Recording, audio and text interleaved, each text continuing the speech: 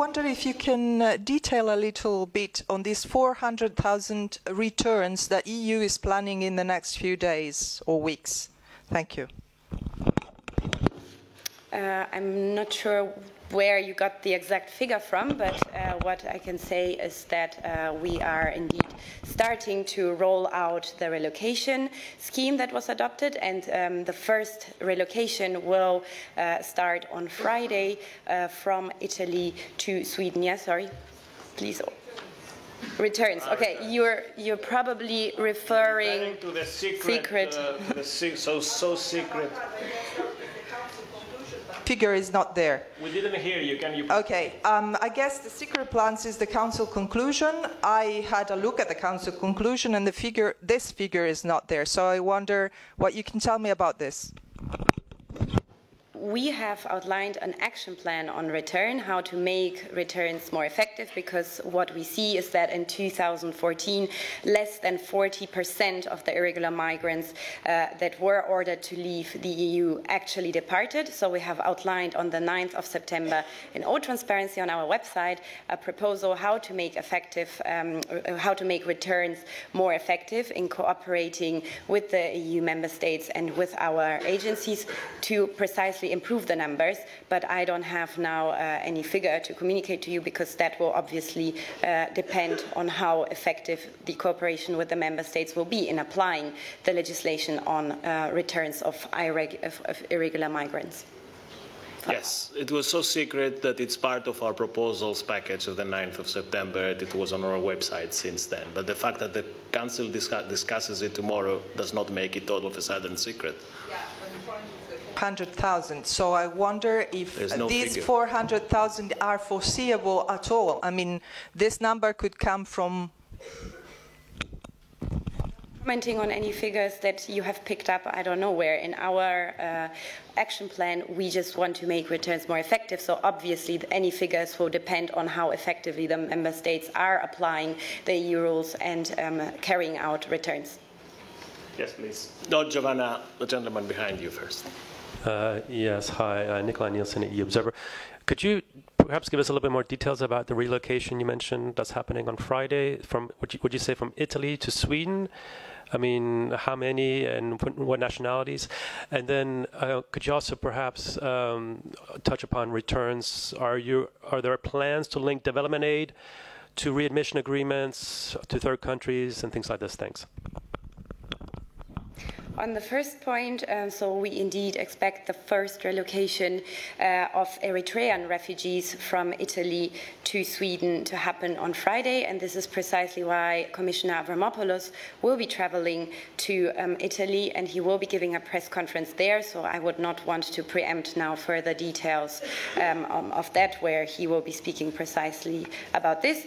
On uh, your second point, um, I think in our action plan of returns, you have the main points. There are a number of different instruments um, of how we can make return policies more effective. Obviously, readmission agreements uh, plan an, play an important role. Funding um, is also uh, funding uh, is also provided under the Asylum, Migration and Integration Fund, where member states have been allocated more than 800 million for return operations for the period 2014-2020, and the Commission is also investing 5 million in a readmission capacity building facility. So uh, we have also proposed to increase uh, the Frontex budget um, for returns for 2016 to reach um, a total of 15 million. So there is a number of different instruments that we're deploying here to make return policy more effective. Giovanna? Okay, before two follow-ups to the question of my colleagues and then another question uh, always on migration. Um, so in your action plan that it will be presented tomorrow, there's not going to be any kind of figures or a number. Is that correct? I understood it properly. And on the 400,000, actually, um, can you say if it's a credible estimation uh, based on the information that you had from your member states uh, on that or not? And then uh, always on migration, but another uh, clarification uh, for the return. It's Eritrea one of the country in which you can consider to return a migrants, or is like Syria one of the country that it's not possible to return anyone to? Thank you. On your first question, I think the action plan is for everyone to read there. As I said, I'm not now commenting on any figures, speculative figures that might be out there in the press. Uh, the ultimate figure will depend on how effective the member states uh, uh, apply the rules that we have in place. And your second question, uh, excuse me, I didn't quite understand it. If you if you can relocate to Eritrea, no, if you can return someone to Eritrea, or Eritrea is like Syria, one of those countries that you cannot return people to.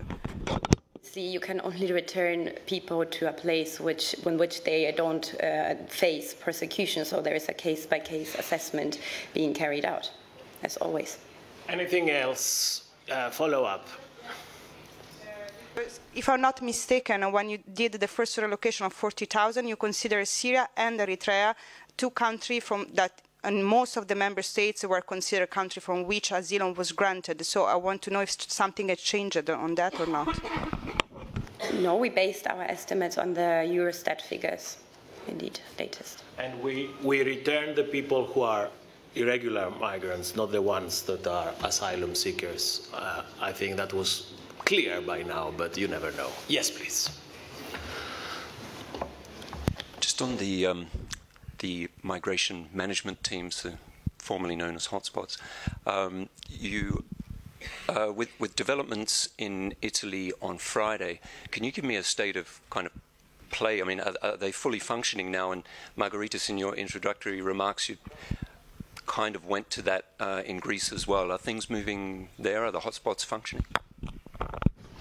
What, what I what I say is that Frontex is already building up operations, but we also have commission teams on the ground. Uh, uh, the Director General of our new Structural Reform Support Service, Maarten Verwey, is in Athens. Uh, colleagues from DG Home are also in Athens. So we try to coordinate on the ground. And of course, part of our ambitious budgetary plans that we want, that the, the new budget that uh, we have presented to Council and Parliament, the amending budget, is precisely to allow for much more effort on the ground.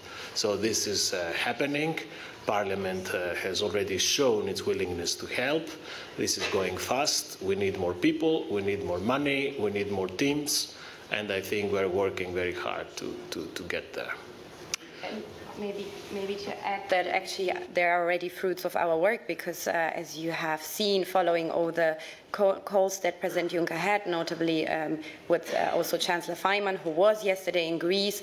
Um, uh, there have been additional officials uh, that have been promised to help, and that should help, as uh, Prime Minister Tsipras himself said, to uh, roll out the hotspots in Greece, which uh, we expect to become operational within the next one to two weeks. And the one in Italy, as we say, I mean, with the first relocation taking place on Friday, that shows that it's working. Yes, please. Yes, I'm Katalin Halmai from the Hungarian daily paper Népszabadság. Uh, I would like to come back to the draft uh, action plan and tackle the issue of the resettlement. The action plan says that work on a structured EU-wide approach to resettlement shall be stepped up. Could you be uh, elaborate? Could you elaborate uh, what that means? A bit of clarification. Thank you.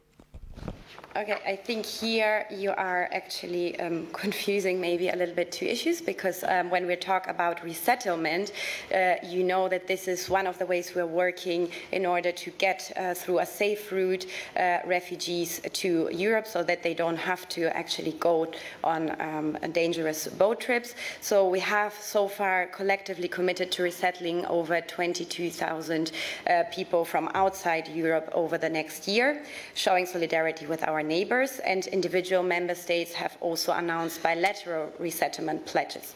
Of course, as uh, the president himself has said, this remains very modest uh, in comparison to the Herculean efforts undertaken notably by Turkey, Jordan, and Lebanon, who are hosting over 4 million of Syrian refugees. And that is precisely why the president announced in his State of the Union speech uh, that building on the experience of the scheme that is now underway um, and also on on our European agenda on migration, the Commission will develop a proposal for a structured system to ensure a collective approach to resettlement at times of intense uh, refugee crisis, and this should come by March 2016. Okay, have we exhausted the subject? On this, on refugees? Yes, please, go ahead.